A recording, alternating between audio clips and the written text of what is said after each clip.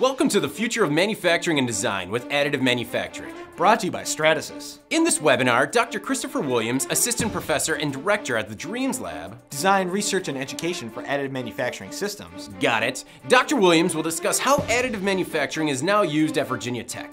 The presentation will include use cases and novel applications for both fused deposition modeling FDM. and multi-material PolyJet 3D printing, These technologies allow Dr. Williams and his team to blend multiple materials and thus selectively manipulate product material properties. for innovative design applications including anatomic replication, biomimicry, and lightweight cellular materials.